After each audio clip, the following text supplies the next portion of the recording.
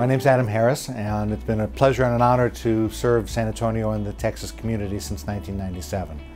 I'm an attending orthopedic surgeon at the Spine and Surgical Hospital, and it's also a pleasure to have uh, helped create a center for less invasive hip surgery and less invasive knee surgery here. I more or less introduced that concept into the South Texas market in 2003, and we've been building on it ever since. You know, in, in, my practice, I like to say that we try to treat every patient as if they were family. And that same philosophy pervades the hospital here. And, and so I've worked at hospitals or seen or been in hospitals when family members have been there in many states and many different cities. And bar none, the, the best patient care and the best interaction with patients is right here. The three main areas that, that uh, I work in are less invasive hip replacement, less invasive knee replacement, and some hip preservation surgery. Also revisions, so if someone else has done the uh, replacement and it's not working right, frequently my partner and I can make it right. And these are all done, you know, we schedule them through the office, we'll bring them out here.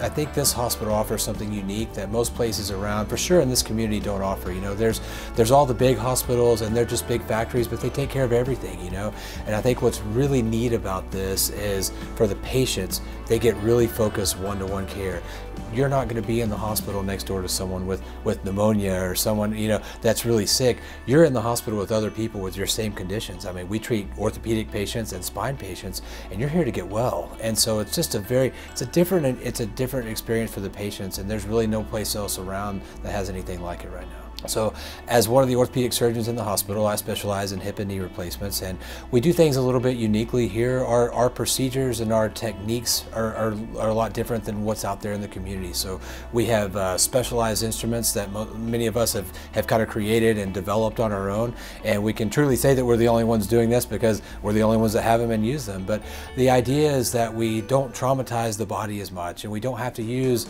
narcotic medications to get you well and so we want the whole experience experience to be, yeah, everyone's nervous about having their joints replaced or their spine operated on, we want it to be, we want to turn that anxiety and make it into something positive. So you're here we want it, you know, we want you walking down the hall in shorts and a t-shirt. You're going to the gym to get well, you know, you're not in a hospital like a sick person.